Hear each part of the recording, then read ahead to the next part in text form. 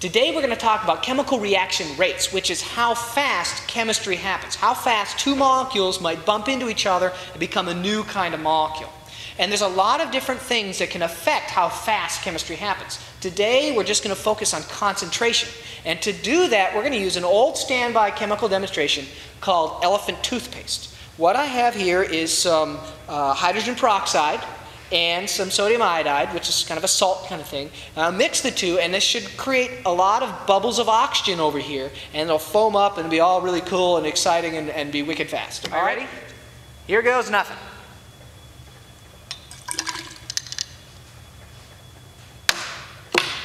Oh yeah, look, there it is. It's bubbling. Ooh, bubbling away. Now this is 3% hydrogen peroxide. What you could buy at the store if you want to like, clean out a cut or something like that. Be careful with hydrogen peroxide because it, it gives off oxygen gas. So you can see here it goes. It's still bubbling off. Oxygen gas is coming out in a little foam. And I put a little bit of uh, uh, soap in there, dish soap, and that's going to make this cool little foam. And it's still going. So pretty cool. And we just may have to put this on stop time. And remember, this is 3%. 3% hydrogen peroxide. It's still foaming, and it's going to make a mess now. There it goes. Ooh. Classic. Maybe I'll go, oh, here, look. You can see it filming over the side, huh? Beautiful. 3% now.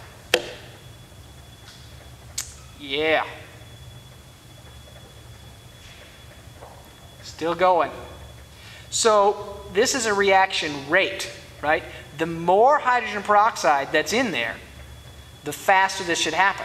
That's one of the things about concentration.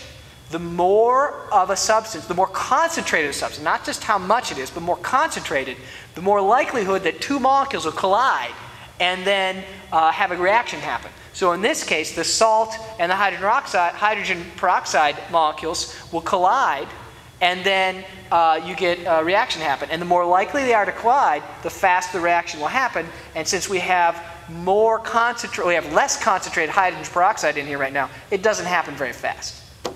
Well, this is still moving kind of slowly, very slowly. So we're going to clean this up, and let's try it with 30% hydrogen peroxide. 30% hydrogen peroxide is much more concentrated, so it shall happen faster. There it is. Nice and fast. Look at how fast it's happening.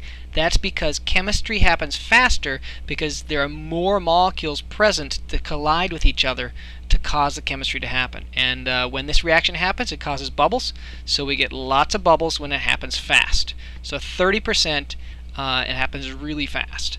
Now let's just quick back it up and just compare one more time the 3% to the 30%.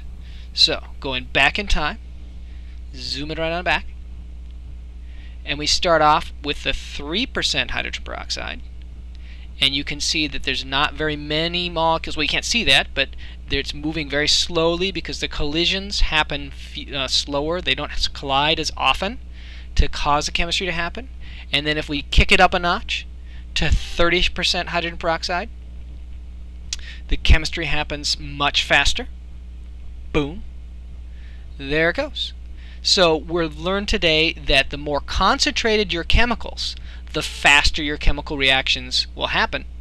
And as an added bonus, the more concentrated your chemicals, the more impressive the chemical reaction. Of course, it's the more dangerous chemical reaction too, depending on what your chemicals are. It's not the amount of chemicals you have, but the concentration that will determine how fast the reaction happens.